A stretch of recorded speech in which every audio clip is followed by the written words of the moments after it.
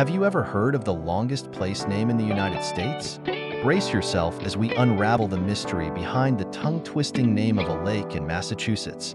Introducing the star of our show, Shargagajojman This lake holds the title for the longest place name in the U.S., and its pronunciation is just as challenging as its spelling.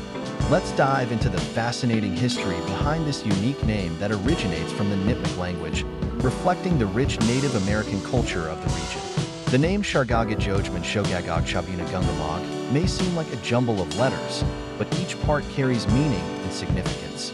In the Nipmuc language, it translates to fishing place at the boundaries, neutral meeting grounds. This reflects the lake's historical role as a gathering place for different tribes to peacefully interact and trade. Pronouncing this epic name can be quite the challenge. The locals often refer to it as Webster Lake for simplicity, but for those brave enough to tackle the full name, it goes something like Shargagi Jojman Quite the mouthful, right?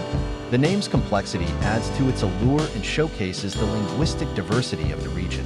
The legacy of Shargaga Jojman Shogagok Chabina Gungamog extends beyond its name. It serves as a reminder of the rich Native American heritage in Massachusetts and the importance of preserving indigenous languages and traditions. The lake continues to be a popular spot for fishing, boating, and enjoying the scenic beauty of the area.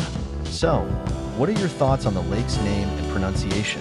Have you ever encountered a place name as challenging as this one? Share your experiences in the comments below. And don't forget to subscribe for more intriguing linguistic content. Join us in celebrating the cultural richness and diversity that make places like Shargagi Jojman Shogagog Chabuna Gungamog truly unique.